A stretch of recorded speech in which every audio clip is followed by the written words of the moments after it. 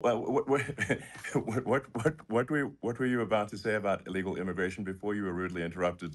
Well, I was going to say how good the numbers were. By the way, we're going back to Butler, and we're going to go back in October. We're all set up, and we're the people are fantastic in Butler. It's a big, it's a great area. Great, these are incredible people.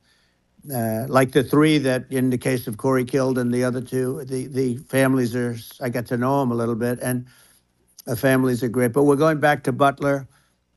And even the people that put it up, they were unprepared, and, and they did a great job. They got it up immediately, fortunately but I looked to the right, and and the bullet and the bullet came whizzing by, hitting my ear. Uh, so it was amazing. But when you think of the odds of that, and Yeah, y- yeah. you know that that normally you wouldn't use it. Normally I wouldn't have the thing, and then you know it would have been a very different story. It's it's very much.